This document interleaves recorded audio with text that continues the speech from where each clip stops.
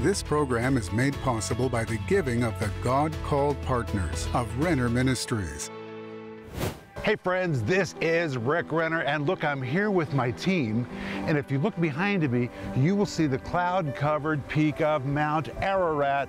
And we are in the lower mountains of Ararat, standing on the probable remains of Noah's Ark. And we've come all the way here to teach a brand new series, which is called Fallen Angels, Giants, Monsters, and the World Before the Flood. And I've waited years to get here to teach you this series. This is Andrew Jones. He's the local researcher. This is Asil, who is my guide that's traveled with me for years all over Turkey. This is William Renner. This is Joel Renner. Back here we have Paul Renner, we have Nikita, and we have Maxine and Mark Dovgan. And we've all come here to create this new series for you. Again, fallen angels, giants, monsters, and the world before the flood.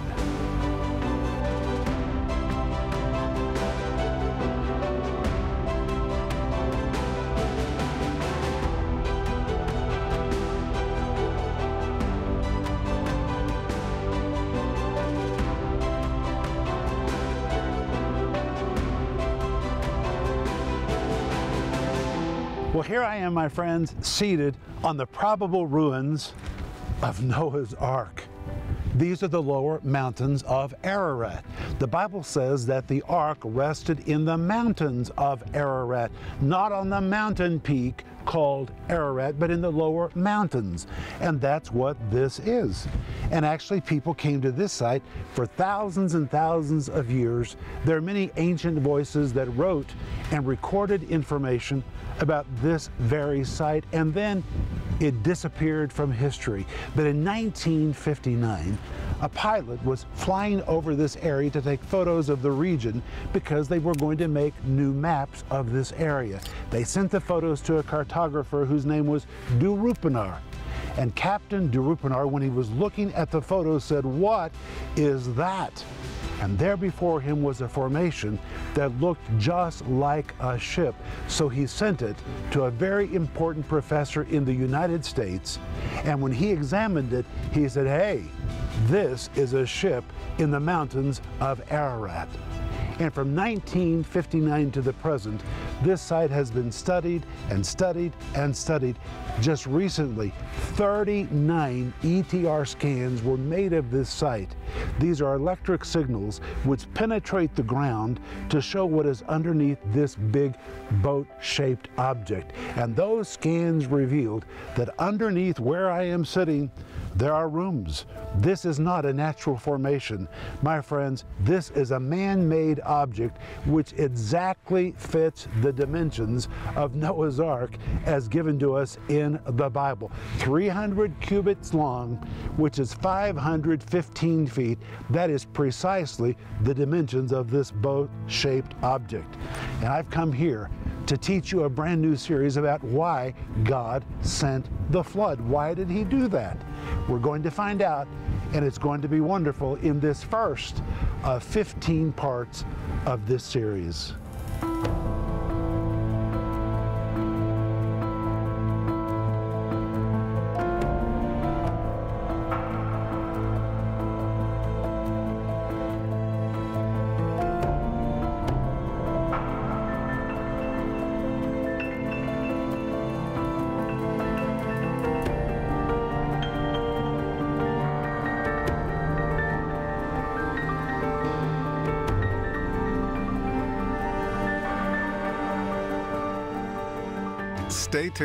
For a teaching you can trust, a message that will inspire, strengthen, and equip you with vital insights and understanding from the Word of God.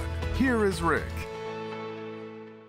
Welcome to the program. My name is Rick Renner, my friend. I've been waiting for you, and today I'm beginning a brand new series that I have been wanting to teach for years and years and years. And as you saw in the introduction to today's program, I even went to the mountains of Ararat to capture video for you to see the ruins of Noah's Ark. And today, this new series is called, are you ready for this? Fallen angels, giants, monsters, and the world before the flood. It is 15 parts, comes with a study guide. My friend, this is a series that is going to thrill you like it has thrilled me. And we're also offering you a book today by Dr. Dennis Lindsey. I read this book from cover to cover in one setting. I found it to be absolutely riveting. And the name of the book is Giants, Fallen Angels, and the return of the Nephilim. And the back of the book says, Have tribes of giants ever walked this earth? Hmm. Are aliens actually fallen giants? Who are the Nephilim and are they returning to the earth? This is a book that you will devour, and you can order all these things by going online or by giving us a call. And please, when you reach out to us, let us know how to pray for you because we really are people of prayer and we want to pray for you. Jesus said that if two of us would agree as touching anything, he would do what we ask. And when you reach out to us, we'll get into agreement. Jesus will hear our prayers of agreement, and Jesus will do something spectacular for you. But either call us or write us or go online to let us know how to pray for you. But reach for your Bible. And today we're beginning this brand new series, which is called Fallen Angels, Giants, Monsters and the world before the flood. And we're going to begin in Genesis chapter 5, verse 1. Now, what you're going to hear today is very foundational to everything else we're going to be covering in these 15 parts of this series. And to the best of your ability, please be with me through all of these programs. My friends, I know that what you're about to hear is going to thrill you, and much of it will be revelation that you've never heard in your life. But today I want to ask how many people were on the earth at the time of the flood? How many people were on the earth at the time of the flood? We're going to answer that by beginning in Genesis chapter 5, verse 1. And when we come to Genesis chapter 5, verse 1, the Bible says, This is the book of the generations of Adam. In the day that God created man, in the likeness of God made he him, male and female, created he them, and blessed them, and called their name Adam in the day when they were created. By the way, that's very important. The Bible says he called them by the name Adam. It shows what unity there was in their relationship, in their marriage, from the beginning before sin came. And my friends, that's the ideal that God wants for your marriage as well. But then in Genesis chapter 5, verse 2, the Bible says, Male and female created he them and blessed them and called their name Adam in the day when they were created. Then verse 3, And Adam lived a 130 years and begat a son in his own likeness after his image and called his name Seth. And then in verse 4, the Bible tells us, and the days of Adam after he had begotten Seth were 800 years, and listen to this phrase, and he begat sons and daughters. Many, many, many sons and daughters. And here's what it means in addition to the names of the children of Adam and Eve, which we read in Scripture, there were many other sons and daughters that are not specifically named in the biblical account. You say, well, how many sons and daughters did he have? Well, you're going to find out today by the time we get to the end of this program that it is likely that Adam saw at least a million of his own descendants. That is amazing. When they exited the Garden of Eden, they had a vast number of sons and daughters. But when you come to Genesis chapter 5, verse 5, the Bible continues to say, And all the days that Adam lived were 930 years and he died. So Adam lived 930 years. Then we read in Genesis chapter 5, verse 6. And Seth lived 105 years and begat Enos. So he had his first son when he was 105 years old.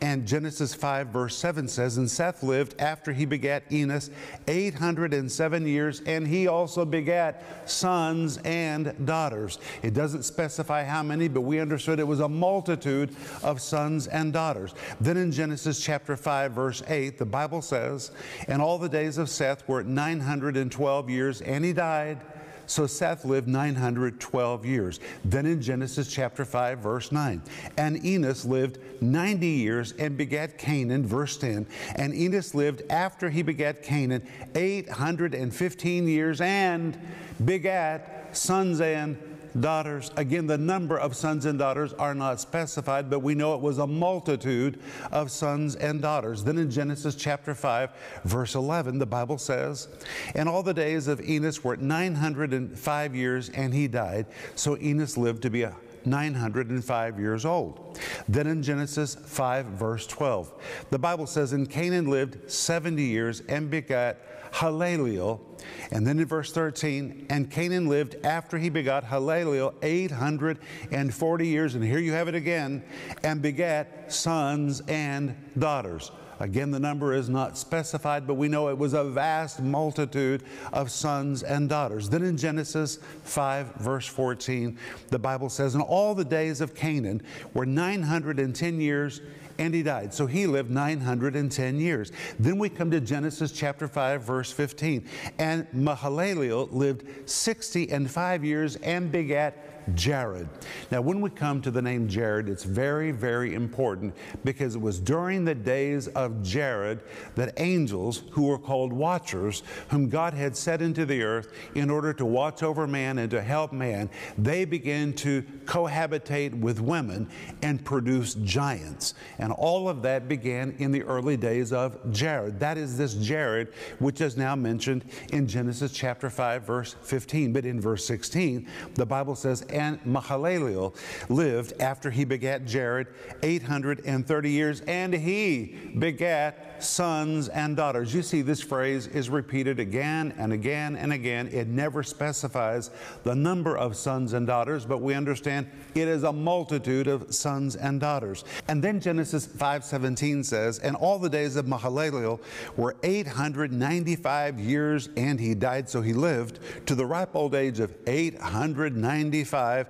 And then Genesis 5:18 continues, "And Jared lived 162 years and begat his son, whose name was Enoch. And Enoch is very important to this teaching about fallen angels, giants, and monsters, and the world before the flood. But when you come to Genesis chapter 5, verse 19, it says, And Jared lived after he begat Enoch 800 years, and guess what? He begat sons and daughters. And again, the number is not specified, but we understand it was a vast multitude of sons and daughters. And finally, we come to Genesis chapter 5, verse 20, which says, and all the days of Jared were 962 years, and he died. So he lived to be 962 years old. And then you come to Genesis chapter 5, verse 21, which says, And Enoch lived 60 and 5 years and begat Methuselah. I'm sure you've heard the name Methuselah. Methuselah was the oldest man that ever lived in the flesh. And the name Methuselah literally means when he is dead, then it shall come. His name was prophetic. And what you're going to find out in this teaching today is that Jared and his descendants all begin to prophesy that a judgment was coming to the earth because of this angelic cohabitation with women that was producing giants and violence in the earth.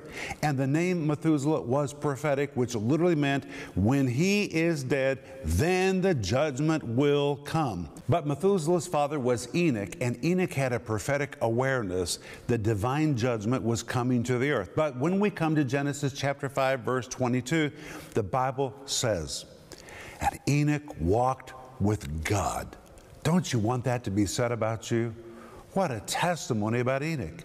And Enoch walked with God after he begat Methuselah 300 years.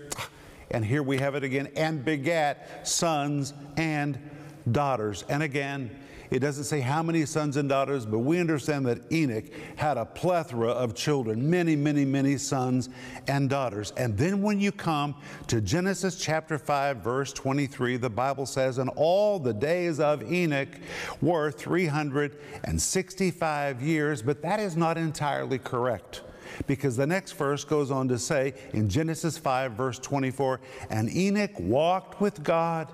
Ah, don't you want that to be said about you? But then it continues, and Enoch walked with God, and he was not, for God took him. This is the first recorded rapture in the Bible. One day, Enoch was walking with God, and God said, You know, Enoch, I just want you to come with me. And God took him. He literally vanished, he disappeared. It is the first recorded rapture in the Bible, and it occurred with a man that was walking with God. Now, my friends, the rapture is going to occur for us in the near future. Let's make sure that we walk with God so we qualify to be raptured when that moment comes. The Bible says he was 365 years at the moment that God took him. However, he never died in the flesh.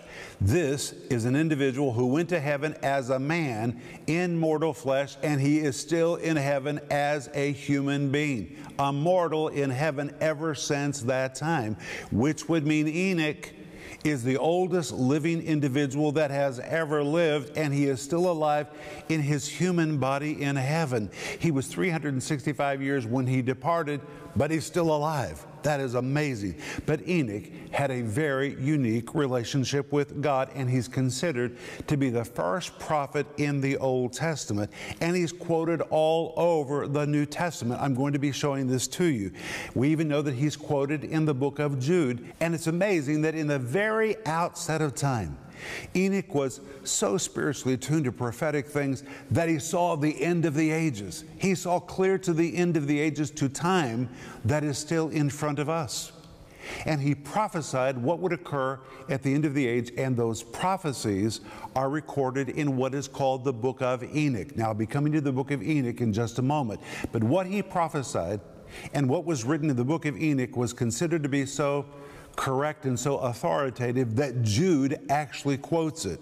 So when you come to Jude, verses 14 to 15, Jude is quoting Enoch from the book of Enoch, and Jude says, And Enoch also, the seventh from Adam, prophesied of these, saying, Behold, the Lord cometh with 10,000 of his saints.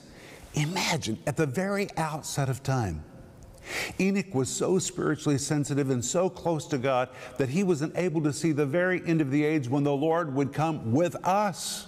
He saw the coming of the Lord with ten thousands of his saints to execute judgment upon all and to convince all that are ungodly among them of all their ungodly deeds which they have ungodly committed and all their hard speeches which ungodly sinners have spoken against him. And here we find that Jude is quoting Enoch from a passage in the book of Enoch. And we'll be coming to what is the book of Enoch in just a moment. But then we come to Genesis chapter 5, verse 25, and the Bible speaks and says, And Methuselah, that is the son of Enoch, lived 187 years and begat Lamech. And Genesis chapter 5, verse 26 says, And Methuselah lived after he begat Lamech 702 years. And guess what? He begat sons and daughters. My friends, all of these individuals had a massive amount of sons and daughters. The Bible never specifies how many, but we know it was a multitude. And then when you come to Genesis chapter 5, verse 27, it says, And all the days of Methuselah were 969 years and he died. He lived 969 years, the oldest individual to live a full life in the history of mankind. And when he died, it signaled the judgment would come. That's what the name Methuselah meant. When he dies, it shall come. But God kept Methuselah alive longer than anybody else because he was giving people a possibility to repent before the judgment came. But finally, we come to Genesis 5, verse 28, and the Bible says Lamech lived 182 years and begat a son, and the name of that son was Noah. This means, amazingly, Noah was born only 14 years after the death of Adam's son Seth. That is amazing. It's amazing to think that Noah could have known and he could have spoken with some of Adam's grandchildren. And not only that, since Adam and Eve, for years and years and years and years, continued to have sons and daughters, it is very likely that Noah was able to speak with some of the unnamed sons and daughters of Adam and Eve. I think that is amazing. But finally, we come to Genesis chapter 5, verse 29, and the Bible says that Lamech called his son's name Noah, saying, This same shall comfort us concerning our work and our toil of hands because of the ground which the Lord hath cursed. Then in Genesis chapter 5, verse 30, and Lamech lived after he begat Noah 595 years and begat sons and daughters. There you have more sons and daughters.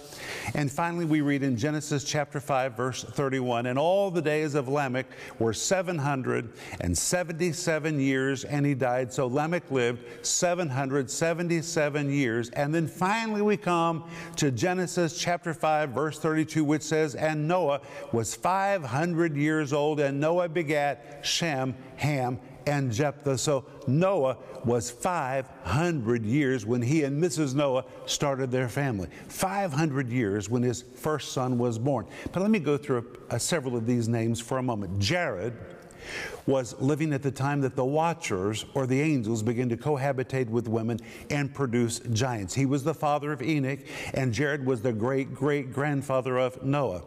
Enoch was the father of Methuselah, and he was the great grandfather of Noah. Methuselah means when he dies, it will come. He was the father of Lamech and he was the grandfather of Noah. Lamech was the father of Noah. And finally, we come to Noah, which means comfort or rest. But in this chapter, everyone except Enoch lived over 600 years. Methuselah, amazingly, lived 969 years and it's very evident that people lived much, much longer lives before the flood. And there are two possible reasons for this. Number one, it could be because of the degenerative effects of the fall on the human gene pool. Or number two, they may have lived longer lives because the atmosphere of the world was different at that time. The environment in the pre flood world was so different because there was a blanket of water that surrounded the earth, which allowed things to live longer and to grow larger. But during this period, the world was populated very, very quickly. And if Adam, during his lifetime saw only half of the children he could have fathered grow up, and if only half of those got married, and if only half of those who got married had children, then at a conservative rate, Adam would have seen more than a million of his own descendants. That is amazing. Then you add all the other kids that were born, so that by the time that you come to the flood, there were several million people. Now, in this series, we're going to be dealing with the book of Enoch. The book of Enoch is a collection of writings that are very, very ancient, and the earliest parts of the book of Enoch are attributed to Enoch himself, where he recorded a revelation that he received from God and recorded things that he witnessed. Though the book of Enoch is not considered scripture, it is considered very significant, serious commentary, so serious that it was quoted by Paul it was quoted by Peter. It was quoted by Jude. It's even quoted by Jesus. Though it is not scripture, it is very serious commentary. And during the time that Jesus was alive, it was a very popular book and rabbis took the book of Enoch very seriously. So, in this series, I'm going to be telling you a little bit about what is recorded in the book of Enoch. But in the next program, we're going to see who are the sons of God in Genesis chapter 6, verse 1 and 2. Don't miss it, it is going to be riveting. But I'll be back in just a moment. Finally, Rick Renner has unlocked the mystery surrounding the sons of God and the giants that appeared in the earth before the flood during the days of Noah. To film this riveting series, fallen angels, giants, monsters, and the world before the flood, Rick and his team traveled to eastern Turkey to the ruins of Noah's Ark. In this series, Rick dives deep into the scriptures to give you answers about who are the sons of God in Genesis 6 1 and 2? What does the promise of 120 years really mean? Where is the real location of Noah's Ark today? Rick says, This is the series I've wanted to teach for decades. With the research we conducted at the real Noah's Ark, along with amazing historical records, I believe this long awaited series will answer a multitude of questions for people who have wondered about the strange events that occurred before the flood and what Jesus said about them being repeated at the end of the age. This 15 part series is available in digital or physical formats, starting at just $24. In addition, we're offering Dennis Lindsey's astounding book, Giants, Fallen Angels, and the Return of the Nephilim. This book will amaze you and open your mind to mysteries hidden in the Bible that have great impact on our world today. This book can be yours for $20. Don't delay. Order this bundle of the 15 part series Fallen Angels, Giants, Monsters, and the World Before the Flood, and the book Giants, Fallen Angels, and the Return of the Nephilim. Call the number on your screen or go to Renner.org to order. Call or go online now. Hey friends, this is Rick Renner, and I'm standing outside the new TV studio in Moscow. Praise God, most of the interior is already finished. They're still working on Denise's studio, so pray for us as we continue. It's going to be nice.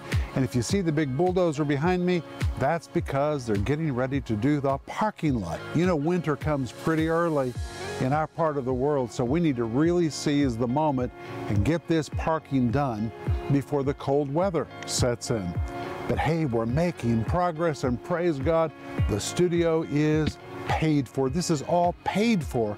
And I want to say thank you for being the most amazing partners and helping us with this.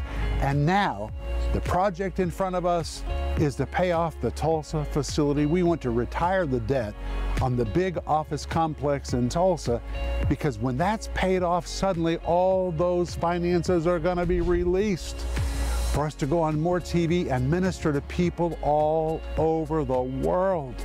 And if you're not a part of the giving team yet, please pray about joining us to retire the debt on the Tulsa building. It's not about buildings, it's just about having the space we need so that we can effectively minister to people. We want to retire that debt so we can take the Word of God to more parts of the world where people are crying out for teaching they can trust. And I want to say thank you for everything you do.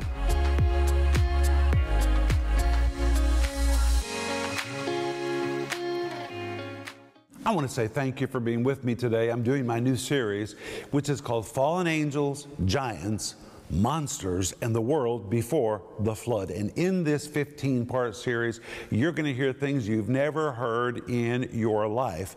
And my friends, you need to hear it and hear it and really study it. And that's why I want you to get the whole series, which is called Fallen Angels, Giants, Monsters, and the World Before the Flood, which comes with a study guide. And this is a study guide you're going to devour because it is loaded with revelation and information. And we're also offering you Dr. Dennis Lindsey's marvelous book, which I read from cover to cover in a single setting. And the name of the book is Giants, Fallen Angels, and the Return of the Nephilim. Ay, ay, ay, this book is absolutely wonderful. But, friend, you can order all of these things by going online or by giving us a call right now. And when you reach out to us, would you please tell us how we can pray for you? If you've ever called us before, you know that you don't leave us without really being prayed for, and we will release our faith. We'll pray with you, and God will do something miraculous and wonderful in your life. But hey, I want to pray for you right now. Father, we thank you for the wonderful Word of God that contains so many answers for us. Help us as we delve into the Scripture to more fully understand what took place in the days before the flood. And Father, I speak a blessing on the life of every one of my friends in the name of Jesus. Amen. Well, I'll see you tomorrow. It's going to be great. But until then, remember Ecclesiastes 8 4 where the word of a king is, there is power.